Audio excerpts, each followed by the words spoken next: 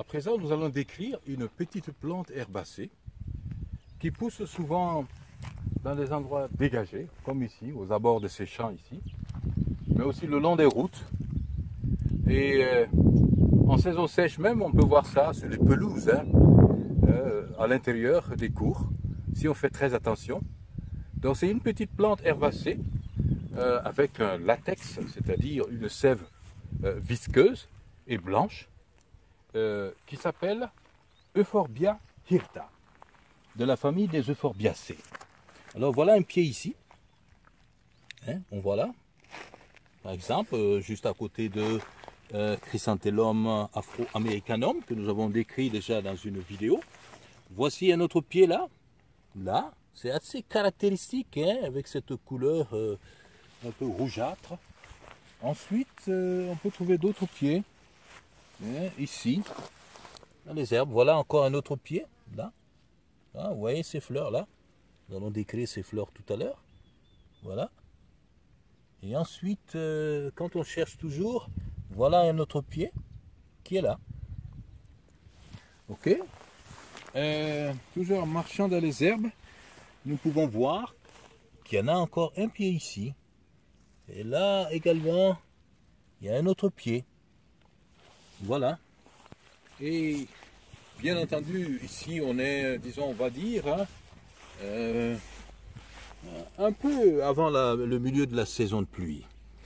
Alors voilà un autre pied, nous allons choisir celui-là plutôt, qui est bien éclairé pour, euh, pour décrire la plante. Sinon, quand on cherche toujours dans les herbes, on voilà. Encore un autre pied. C'est assez caractéristique avec ces, fleurs que nous allons décrire tout à l'heure. Alors, nous disions tout à l'heure que ça avait un latex blanc. Ça permet d'ailleurs euh, de reconnaître euh, assez bien, voilà, cette plante, voilà, le latex là, hein, hein, cette sève blanchâtre, et qui est euh, assez visqueuse. Hein. Et si on coupe encore cette feuille, on voit la sève blanche qui sort. Voilà. C'est une petite plante herbacée qui n'est pas en fait qui n'est pas très longue. En général, ça ne dépasse pas 30 cm. Pour celui-là, on est à 22 cm. Alors, cette tige, on dit que c'est une tige dressée. Mais en réalité, Euphorbia hirta, eh bien, euh, le plus souvent, hein, un peu, c'est le contexte qui fait qu'il est dressé ici, mais sinon le plus souvent, on va le trouver qui va, qui va s'étaler hein, sur le sol. Ça va, ça va s'étaler comme comme une plante grimpante qui n'a pas trouvé de support, donc ça va, ça va former une sorte de liane au sol. Et c'est pour ça d'ailleurs que, en général, elle pas, elle peut être très développée, mais ne pas être en, en, haute en taille. Et les tiges, quand on regarde d'un peu plus près, on voit qu'il y a aussi une coloration. Hein. Elles ne sont pas vertes vertes, une coloration plus ou moins dorée, à, disons rosâtre. On peut voir sur cette tige, hein. Elle est un peu rosâtre. Nous voyons que les feuilles Hein, sont des feuilles simples hein, qui sont opposées de couleur, euh, disons, vert euh, un peu foncé. en tout cas en haut, quand on regarde en bas, les couleurs euh, sont un peu plus claires, vert clair. Hein. Alors, ces feuilles mesurent combien? On peut regarder, celle-là. Elle a une longueur de 2 cm. Dans la littérature, on trouve de 1 jusqu'à 3 cm.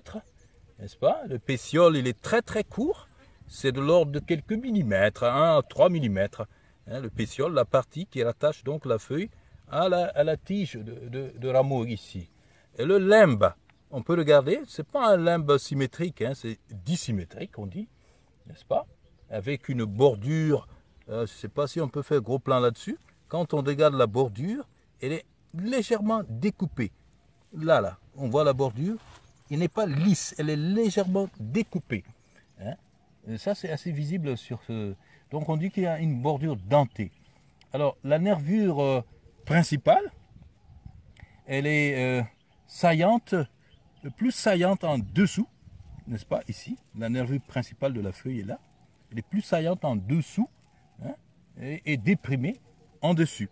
Alors, ça, on remarque hein, sur euh, beaucoup de plantes que les nervures sont en relief plutôt vers le bas, vers le sol, comme si c'était la force de gravité qui imprimait ce relief aux feuilles, euh, tandis que, aux nervures, pardon, tandis qu'elles viennent un peu plus déprimées vers le haut, c'est-à-dire la partie de la feuille qui regarde vers le ciel. Chaque feuille, on peut voir, a essentiellement deux nervures secondaires, deux nervures secondaires hein, sur chaque feuille, et euh, ces nervures sont plus importantes et ascendantes, et partent de la base même. Hein, ça forme une sorte d'empreinte très marquée sur la feuille, donc une nervure secondaire ici, une nervure secondaire ici, très marquée, qui partent de la base de la feuille, et l'une est plus longue que l'autre, bien sûr, l'une est plus longue de 3 mm que l'autre. Maintenant, nous pouvons aussi parler des fleurs. Hein. On voit, euh, ce sont des fleurs de, de, couleur, on va dire quoi, un peu verdâtre, hein, et sur les bouts, c'est un tout petit peu, euh, disons, rougeâtre. Et c'est des fleurs qui sont euh, agglomérées hein, en tête et qui sont, on peut dire, vaguement symétriques aussi quand on regarde. Et ça apparaît très tôt, tout le long de la tige en fait. Tout le long de la tige, on peut voir des fleurs. Et c'est intéressant aussi de voir que la tige elle-même est pubescente. Je ne sais pas si on peut faire gros plan là-dessus. À la faveur de la lumière du soleil, on voit qu'il y a des petits poils qui sont le long de la tige. Alors, les fleurs, euh, leur positionnement, c'est, euh, disons, euh, on peut voir ici, hein, ça apparaît entre deux feuilles en général. Hein, entre deux feuilles. C'est, disons, plus ou moins axillaire, mais c'est toujours à la jonction de deux feuilles. Et aussi en extrémité du rameau, on voit bien qu'il y a une fleur. Quand les fleurs arrivent donc à maturité et sont, elles sont fécondées, ces fleurs euh, euh, vont donner de, petites capsules, hein, qui sont les fruits en fait, euh, des fruits secs, déhissants, c'est-à-dire que ça s'ouvre plus ou moins, mais en réalité, souvent quand on vient trouver la fleur à maturité, c'est assez desséché. Quand on presse, on voit ces petites graines là qui ressemblent en moins, de taille moins même que les graines de sable, et qui sont nombreuses. Mais euh, disons, le terme précis de botanique euh, pour capsule est que, bon, euh, chacun quand même de ces fruits, chacune de ces graines se trouve dans une loge bien précise. Et quand le fruit devient assez sec, eh bien, ça peut se fendiller et laisser tomber les graines. C'est pour ça d'ailleurs que c'est une plante qui se reproduit assez bien, hein, qui va essaimer un peu partout. Euh, dans, son, dans son environnement immédiat. Alors, il y a beaucoup de noms locaux, bien sûr, pour euh, cette petite plante herbacée, qui est très prisée d'ailleurs, hein, euh, pour multiples raisons. C'est beaucoup recherché. Et donc, on a tout intérêt à l'avoir dans son jardin, dans sa cour. Et quand on prend, par exemple, chez les, disons, chez les Bambara du Mali, ils l'appellent Dabadabling. Dabadabling. Alors, chez les euh, les Mossi du Burkina, euh, il appelle, euh, disons, Walbissum. Walbissum. Quand on part au Niger, par exemple, les tamasheks du Niger vont l'appeler Yue Santas. Tandis que on part au Sénégal, eh bien, les Wolofs vont l'appeler Mbal Mbal. Mbal Mbal. Les Peuls, tout couleur du Sénégal, l'ont appelé, disons, Enengel. On va en Côte d'Ivoire, on va prendre par exemple euh, chez les, euh, on va dire quoi, chez les c'est Douata Point, Douata Point. Et au Bénin, à Aja par exemple, ça sera Ayewe. Nous allons donner une liste de mots que les euh, herboristes et les phytothérapeutes vont combattre en, en utilisant cette petite plante herbacée qui donne donc un, un latex blanc qui est Euphorbia hirta.